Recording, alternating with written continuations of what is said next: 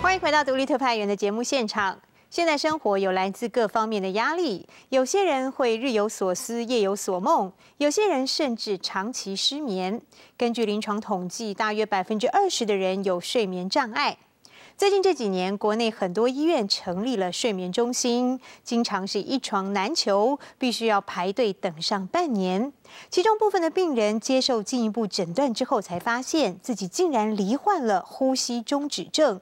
如果没有及时治疗，身体长时间缺氧将会造成器官功能衰退，罹患心血管疾病的几率也比一般人高出四倍。而到底有什么办法可以不再夜夜数羊，求得一夜好眠呢？请看我们的报道。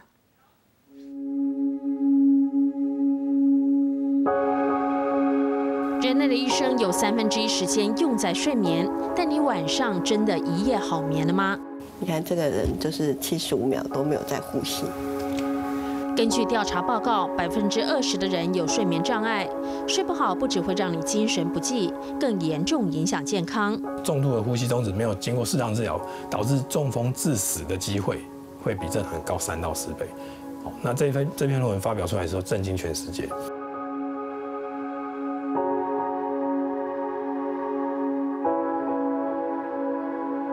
止大人睡不好，小朋友也有睡眠障碍。好好睡觉，一个简单的愿望，却成为现代人奢侈的梦想。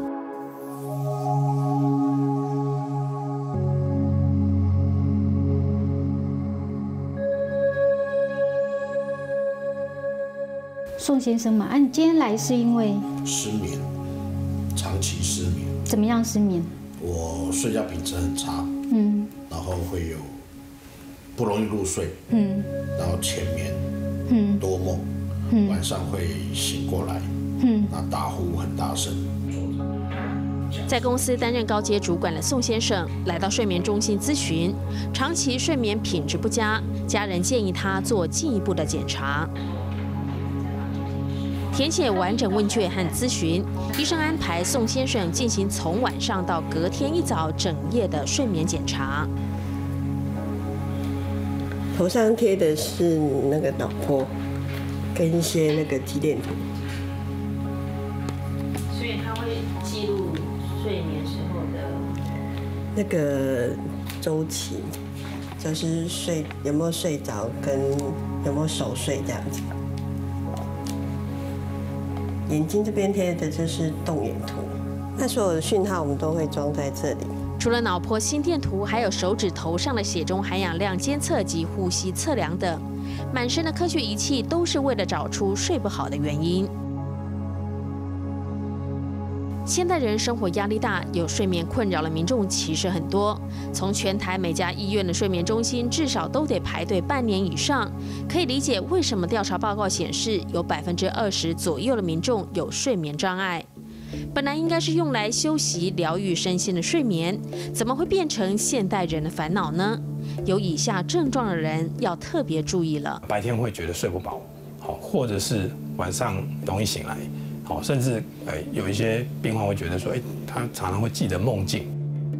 美国睡眠医学会邀集全世界睡眠专家，定义出八十三种睡眠障碍，包括生理与心理等不同因素。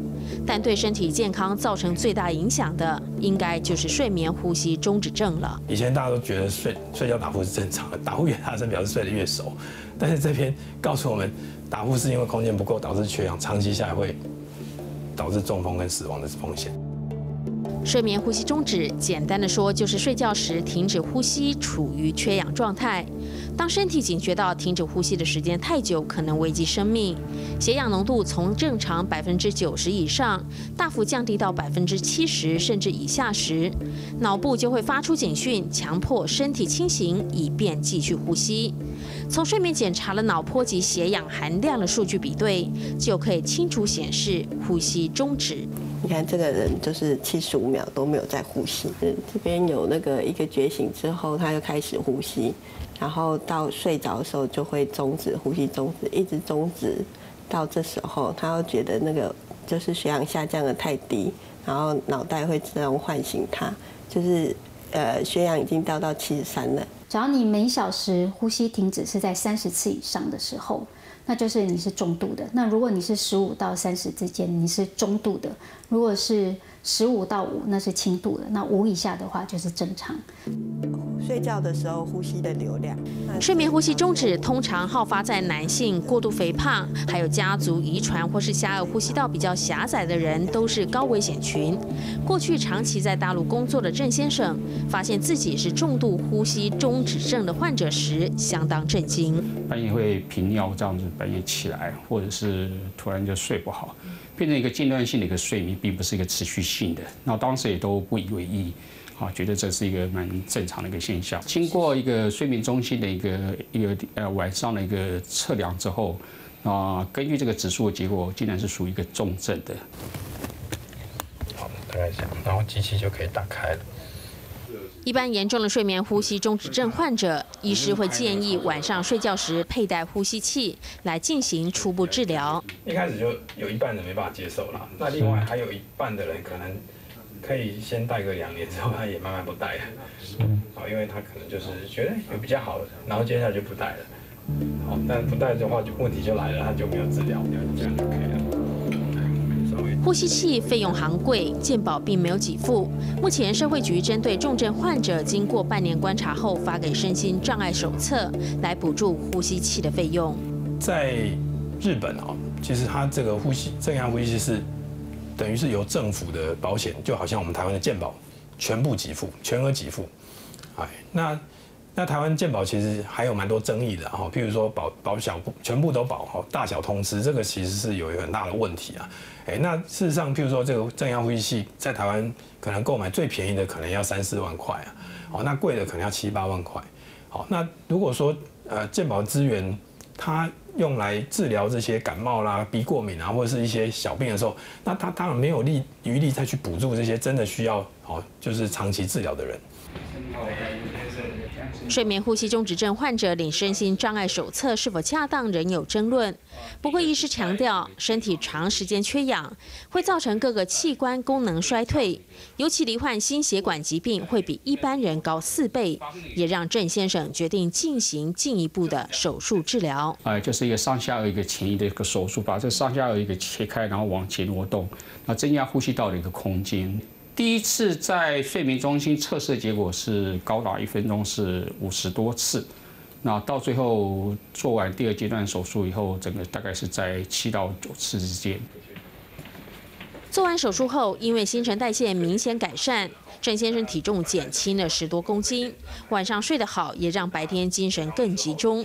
经过漫长的治疗和手术过程，他感触良多。我招招很多类似像我这样子在高度工作的一些社会中间分子，或者是甚至一些企业的白领，那我都会给他们这样的一个建议，就说其实不要轻忽有这样一个症状。你过去以为这只是一个简单打呼，但事实上。这个部分呢，其实造成了一些后果，可能是我们没有办法去想象，甚至造成一些猝死的现象。对睡眠专科医师强调，在欧美国家，睡眠治疗已经被列入预防医学的领域，早点发现睡眠问题，就能提早治疗，避免恶化。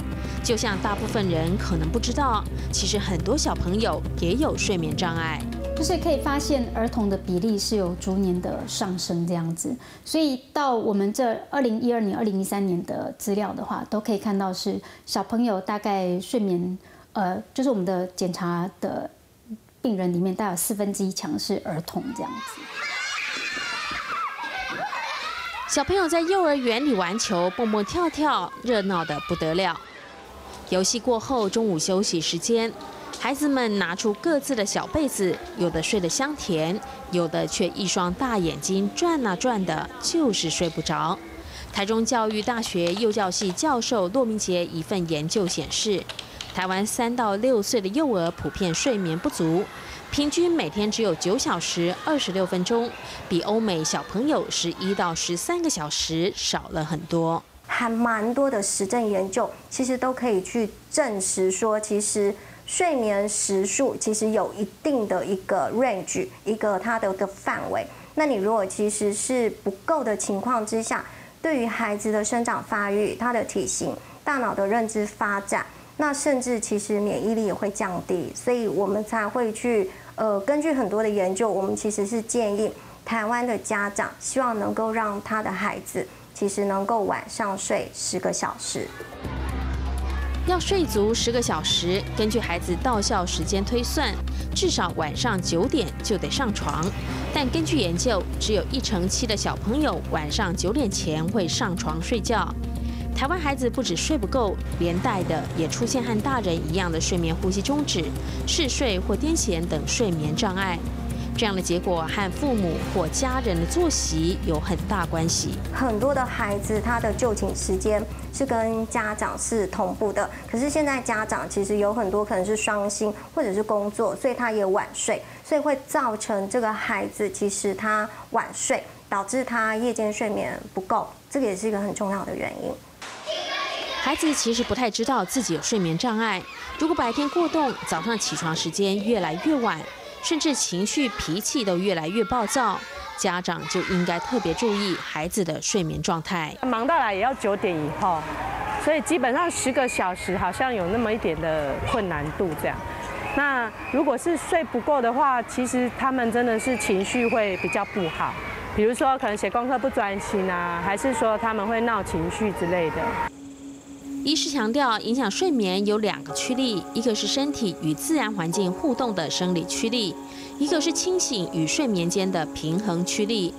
古人日出而作，日落而息，其实就是依据大自然的节奏。现代的光照疗法就是因循这个道理，成为改善睡眠的方法之一。因为我们为什么会想要去睡觉，想要醒来？这个是我们身体有一个节律器。那那个节律器的话，其实就是在我们的那个。就我们的松果体，它会分泌褪黑激素那些什么的嘛，好，那这是其中的一个机制。但是我们利用照光，因为光线进入我们的那个眼睛之后，它会视神经，然后去刺激视丘上核视神经的那个上核之后，传到这些讯息传过去之后，就会改变我们的醒睡周期。太阳光就是最好的生理时钟调节器。无论大人或小孩，不管是太晚睡失眠或太早起的困扰，都可以透过阳光照射改善睡眠时间及品质。比如叫他早上去照一个钟头的光，那再加上他那个运动的话。那这样他就可以慢慢的把时间往前提，但是有些人老年人他是相位本来就已经是前提，他可能七八点打瞌睡，半夜睡不着就早醒的这种的话，那我们就教导他在下午照光，早上避光。早上他去做运动要戴太阳眼镜，但是下午他去做运动的时候就刚好是照光。那这样子的话，他又可以慢慢的把周期延后，他就不会早醒这样子。少睡一小时之后补眠四小时还难以恢复，可见规律充足的睡眠有多重要。而人体睡眠的机制其实隐藏着许多奥秘，全球睡眠专家仍在继续钻研。睡眠不只是生理上清醒与睡眠的差异，还必须将心理、情绪及生活压力等因素都列入考量，睡眠障碍的真正根源才能全面被关照和理解。下个星期就是农历春节，独立特派员将停播一周。我们先在这里向您拜个早年。而下一次播出的时间是大年初七，我们要跟您分享一段阿嬷皆有与画家如何结为忘年之交的感人故事。看趋势说真话，独立特派员，谢谢您今天的收看，我是黄明明，我们下次再见。